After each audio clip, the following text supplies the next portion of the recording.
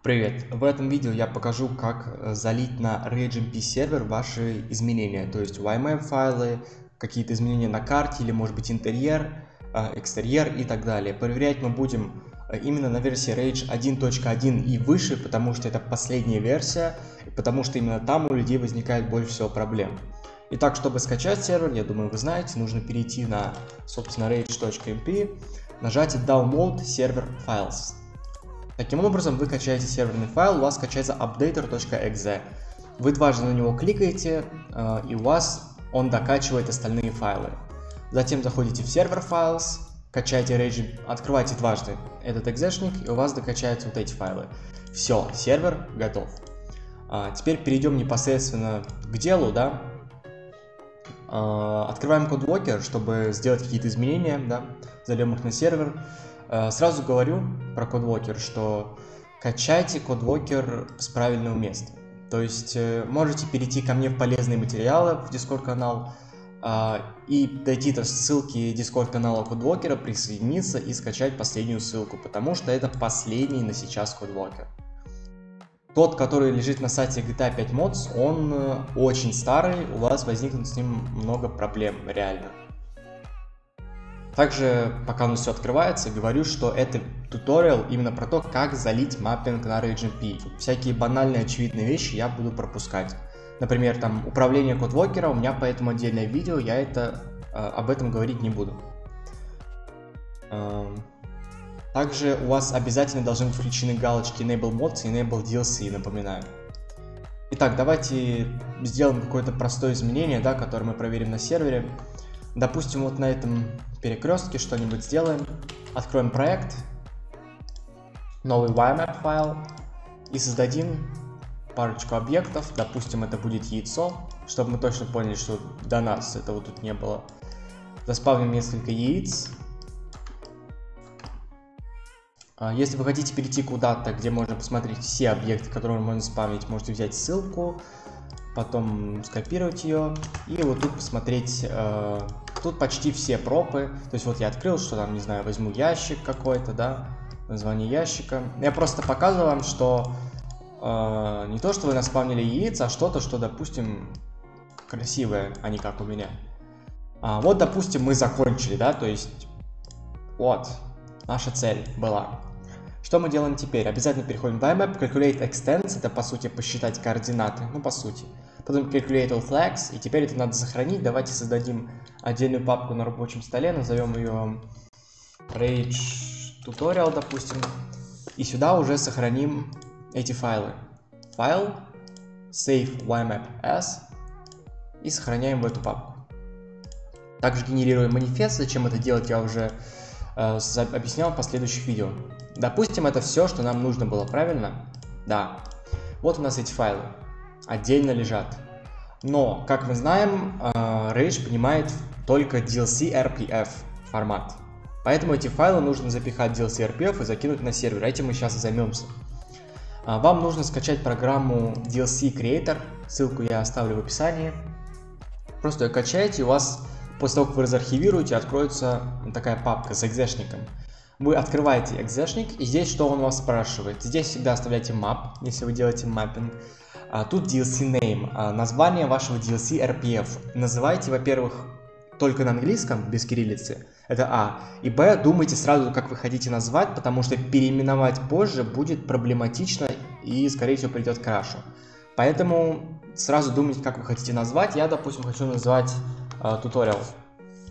Create DLC, он спрашивает, куда мне это сохранить. Ну, давайте сохраним сюда же, сейчас у меня слева появится. Он говорит, я создал, я молодец. Открываем. И вот у нас наш э, новенький DLC RPF. Что мы с ним делаем? Повторяйте за мной.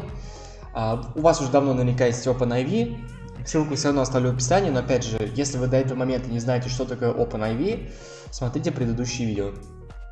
Э, открывайте GTA 5, раскрывайте вот эту папку, а потом раскрывайте Update, открывайте x64, DLC Packs, и здесь создайте новую папку под названием RageMP. А, теперь, э, зайдя в эту папку RageMP с остальными DLC паками рядом, вы бросаете этот DLC RPF. И можете вот это, в принципе, закрывать. То есть смотрите, что мы сделали. Э, если мы откроем какой-нибудь рокстаровский патч, да, вот патч D19, там 13, неважно, мы видим, что это их иерархия. То есть мы, по сути, сделали как Rockstar, то есть правильно. Видите? Так просто удобнее работать с DLC RPF. Теперь давайте разберемся, что это такое, да? А, что мы тут нам создавалось, это важно понимать. А, начнем с того, что вот эти Вообще, что такое RPF? RPF это архив, это просто GTA-шный архив, сборник файлов внутри. Это то же самое, что zip, просто GTA такой использует. А что такое setup XML? То есть внутри тут просто важно понимать, что почему я говорил вам не переименовывать. Потому что смотрите, если вы захотите переименовать ваш а, что-нибудь сейчас, вам придется заменить имя здесь, заменить имя здесь, здесь, здесь, здесь. Поэтому не надо. На этом внимание не обращаем, тут все правильно генерируется само, только опять же про наименование не переименовывайте. Content XML. Тут по сути он говорит, какие RPF запускать. Вот смотрите, туториал RPF, вот он.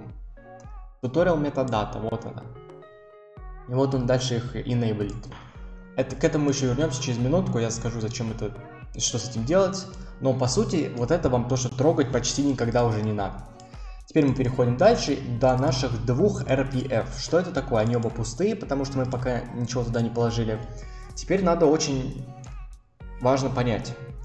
А, неважно, это туториал метадата, это туториал просто RPF. Там, не важно, то есть создайте третий архив, имейте один архив, игре все равно. Она читает вот эти rage package files, RPF, Э, вне зависимости от их количества, вне зависимости от того, как вы их поделили. То есть, смотрите, о чем я говорю. Вы можете засунуть половину интерьера сюда, вы можете засунуть половину интерьера сюда, все равно будет работать. Или все в один, все в другой, а второй пустой. То есть Rage он просто читает RPF, то, что внутри. А как вы их рассортировали, ему по большому счету наплевать. А, соответственно, что мы делаем? мы открываем наши какие-то изменения, которые мы совершили.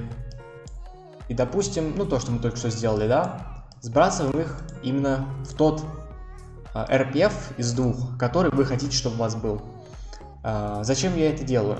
Поскольку вы теперь знаете, что вам не нужно 2, 3 RPF, да, просто DLC Creator так создает, и разницы никакой нет. У вас может возникнуть вопрос, а зачем мне вот этот лишний килобайт, а зачем мне вот это путаться, да, я хочу просто удалить. Как это сделать? Смотрите. А, сначала вы действительно просто удаляете этот RPF отсюда. Если вы так продолжите и зальете на сервер, у вас будет краш. Почему? Потому что, я уже говорил, вам нужно перейти в Content XML. И теперь, смотрите, мы удалили туториал metadata. Значит, мы удаляем его отсюда, то есть files to enable. Нет, он у нас больше не включен. И удаляем также от item до item. Вот отсюда. Tutorial metadata. И теперь, если он дает вам сохранить, вы все сделали правильно, если не дает, неправильно. Теперь э, у вас только один RPF официально. Но у вас все равно будет крашиться игра. Почему? Рассказываю. Э, если мы сейчас скинем этот RPF э, куда угодно, да, целиком, то мы заметим, что он весит 4 килобайта. Это нехорошо. А, почему? Если ваш RPF весит 5 и меньше килобайт, почему-то Rage просто крашится. Тут большого объяснения нет, просто вот платформа сделана людьми, у которых руки растут откуда же, откуда и ноги, и поэтому 4 килобайта, 5 килобайт просто краш, без объяснения причин. А, люди думают, что вот здесь должно быть 5 килобайт. Нет, тут можно 3, 4. Главное, чтобы RPF сам весил больше 5. Что мы делаем? А, да заходим там куда-нибудь, да, то есть э, я, например, знаю, что если я зайду сюда, найду тут, достану один файл, он точно, он немного весит, и он точно не навредит серверу, он не внесет никаких изменений. А, то есть я просто утяжелю свой RPF, закинув вот этот вот бред не связанный. И теперь, если мы скинем новый наш обновленный DLC RPF, который мы создали в нашем DLC паке RageMP, то он весит 63 килобайта, как видите. Нам важно там 6 и больше, да, но 63, в принципе, это 6 и больше. Теперь э, важно сказать, что, ребята, забудьте про архив fix. Все, с Rage.1.1 он не нужен, а, больше мы не мучаемся с ним, все окей, просто не нужен, забейте, все. А, дальше, вот мы залили что-то очень банальное, очевидное, да, но у вас может быть вопрос, ну ты научил меня, да, закидывать яйца на сервер, я хочу интерьер. Ну так давайте расскажу. Смотрите, зайдем опять же на официальный сайт RageMP и найдем какой-нибудь интерьер. Вот это их сайт, где они, у них тут интерьеры, переходите в модификации, интерьеры и скачаем, допустим, э, мэрию. Я уже скачал. Вот архив. Откроем. И внутри у него тоже лежит DLC RPF. Заодно я вам покажу и научу вас, как из, чу... как из чужого DLC RPF а, доставать файлы, которые вам нужны. А, смотрите, не путаемся, это наш DLC RPF. Мы заходим в последний наш туториал RPF. А, закидываем сюда чужой DLC RPF. Это Town Hall, вот это вот мэрия. И открываем здесь э, э, файлы, которые нужны. Смотрите, что нам важно. Это чужой DLC RPF. Это чужой интерьер. Мы не знаем, как он составил этот DLC RPF, где он там ошибался, как он его нагенерировал. Нам это все не нравится. Мы, мы знаем, что мы сделали правильно, мы сделали хорошо. Значит, мы отсюда забираем все его файлы. Нас волнуют только файлы, потому что остальное у нас правильно. И удаляем его DLC RPF. Теперь файлы, которые мы достали, мы кладем в наш правильный, хорошо созданный DLC RPF. Все, у вас здесь наши изменения в кодвокере и чужой интерьер, или любой интерьер, может ваш, чужой, неважно, я просто показал на примере.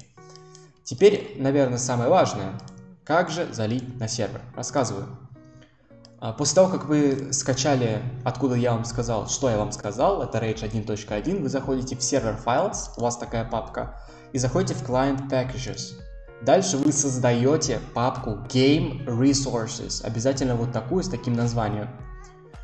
А, в нее вы создаете папку DLC Packs, и уже вот сюда вы бросаете изменения. Уже тут вы создаете папку с названием, например, Rage Tutorial, и в нее вы бросаете нужный вам DLC RPF. Вот. Вот этот путь, запомните, он такой э, один. Единственное, что вот это название вы можете именовать по-русски, по-английски, в любой момент переименовывать, здесь это не важно. Так, теперь давайте запустим наш сервер.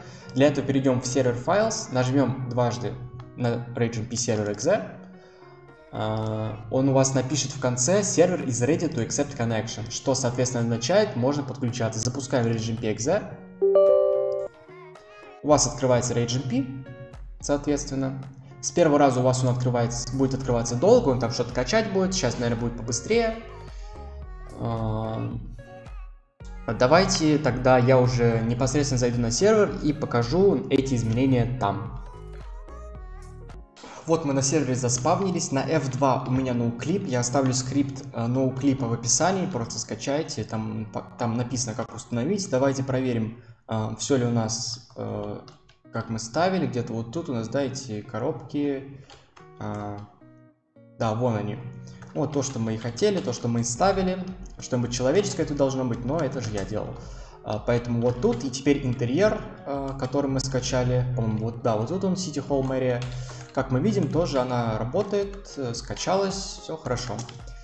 Тем, кто досмотрел до сюда, большие молодцы. А, в общем, по сути видео по сути видео, наверное, это, в общем, все, вы научились. Единственное, для тех, кто до сих пор смотрит, у меня для вас небольшое объявление. Эм, давайте закроем все. Вы всего научились, тут, как понимаете, было не очень сложно. В чем объявление? Ребят, если вы хотите поддержать дальнейший выход роликов или хотите просто сказать спасибо за то, чему научились, patreon.com, desertos, если хотите, то есть тут можете прочитать под так называемые бонусы, тут можете проголосовать следующее видео и так далее, если хотите. Также не забывайте заходить в мой Discord канал, где я до сих пор помогаю мапперам. Также теперь мы помогаем и кодерам. Там Lua, JavaScript, HTML, C-Sharp. Пишите, поможем. Э, заходите, в общем. Следующее видео, скорее всего, будет уже в октябре. На этом все. Спасибо, что посмотрели. Увидимся.